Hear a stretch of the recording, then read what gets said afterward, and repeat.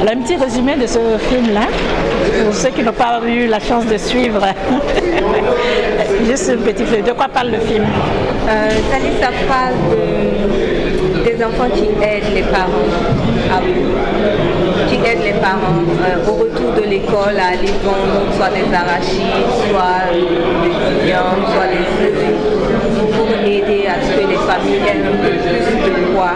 Euh, mais il se trouve que sur leur chemin, bien sûr, c'est jalonné de, difficultés, de rencontres, euh, d'accidents, de, choses comme ça. Ça veut dire que pour la jeune fille, de plus, plus en plus les filles le font, mais il y a une perdition au niveau de, l'éducation. Félicitations. Merci.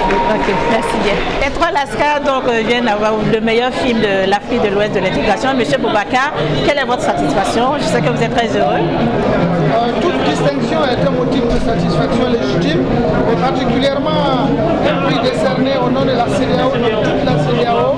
C'est comme si déjà mon film avait voyagé dans toute la région. Donc euh, l'intégration, c'est ce que nous avons le mieux à faire. pour le vivre ensemble, pour je serai le coup face aux différents défis. Donc je suis heureux de recevoir ce prix ce soir. Être sélectionné au FESFACO, pour moi, c'est encore une autre avancée. Et ces prix qui arrivent, en fait, c'est juste pour couronner en fait, euh, quelque chose. Mais je ne viens pas à un festival euh, forcément pour avoir un prix, mais quand il arrive, je le reçois avec fierté. Parce que je me dis, chaque sélection, c'est un relais pour que les films soient vus. Et c'est le plus important. Et euh, déjà, le fait d'être sélectionné, comme je l'ai dit, c'est très important pour moi parce que le FESFACO, c'est du lourd. On a beau aller faire des grands festivals. Moi, je suis allé jusqu'à Cannes, mais quand il y a un prix au FESFACO, c'est énorme en fait. Mais c'est aussi une grande responsabilité désormais.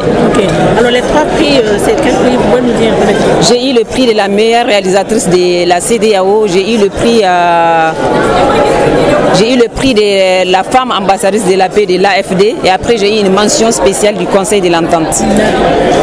Ainsi donc s'achève cette belle soirée. On se donne rendez-vous demain donc du côté du Palais des Sports de Ouara 2000 pour euh, le prix donc euh, du lauréat de l'étalon d'or du Yenega du FESPACO 2021.